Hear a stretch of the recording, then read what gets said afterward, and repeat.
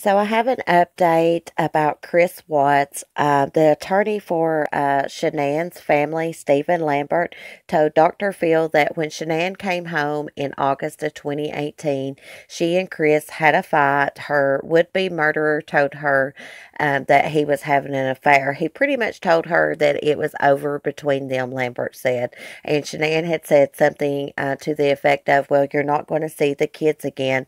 And as a consequence of that conversation, conversation, um, he strangled her. And Bella had walked into the room while Chris was wrapping uh, Shanann in the sheet and asked uh, him what he was doing to her mommy.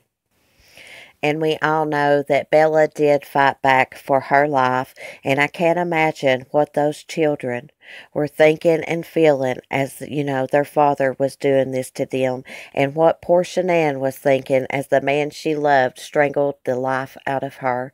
He is such a monster, and this has been so upsetting today to learn all these uh, new details. I kind of thought Bella was asleep uh, when her dad had smothered her uh, with a pillow or whatever he used, uh, and that maybe she didn't know that it was her dad doing that to her. But as it turns out, she did know that her dad um, was doing it. And it's just so sad and heartbreaking. And we're going to discuss this tonight and also the Bever brothers. Thanks, guys.